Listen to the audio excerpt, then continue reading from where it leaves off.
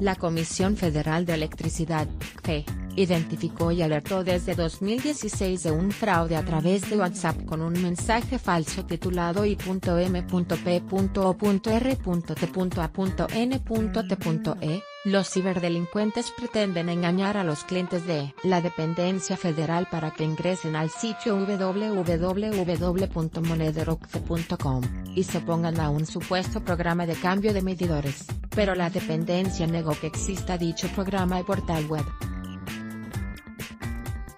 Lee además, desmiente que arreglo con OL en un comunicado la empresa indicó que el programa de sustitución de medidores que impulsa es totalmente gratuito, y tiene como objetivo modernizar los equipos de medición actuales por equipos electrónicos digitales, para asegurar una correcta medición del consumo de energía eléctrica de los clientes.